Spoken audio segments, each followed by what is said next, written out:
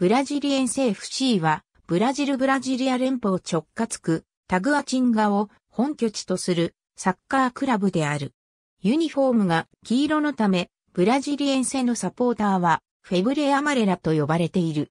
ナショナルカラーである黄色と緑色を身にまとう数、少ないチームである。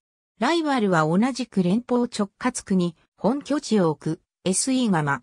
ビジネスマンのルイス・エステバンによって2000年8月1日に設立された。彼はアトランティダ FC を買収し、ブラジリエンセ FC へと改名した。2002年にカンピオナートブラジレーロセリエ C 優勝。2004年にカンピオナートブラジレーロセリエ B 優勝を果たし、わずか数年でカンピオナートブラジレーロセリエ A へと駆け上る。セリエ A に昇格した2005年は最下位に終わり、再びセリエ B に戻った。2002年にはコパドブラジルで準優勝を果たした。カンピオナートブラジリエンセでは2004年に初優勝し、2009年まで6連覇している。優勝回数8回は、ブラジリア FC と並んで2番目である。なし。ありがとうございます。